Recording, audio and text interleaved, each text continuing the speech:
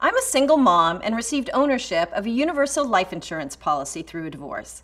It had about $44,000 in cash surrender value, a death benefit of $250,000, and I was paying $1,000 a year in premium for a 55-year-old, my former husband, which was a lot for me at the time.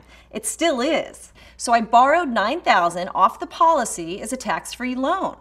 The problem was that my tax advisor then said if I didn't eventually pay back the loan, the policy would only last until my ex was like 72. I didn't know what to do at that point. So I went to Life Refi, and they were able to use my remaining cash value to not only lower my premium to just $200 a year for the same death benefit, but guarantee it 13 years longer than the first, and pay off my loan at the same time.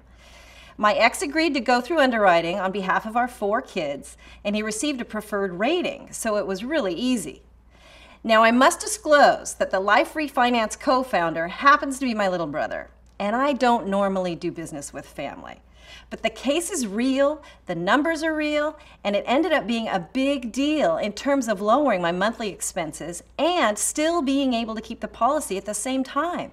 That was a win win. I would highly recommend Life Refinance. It worked for me.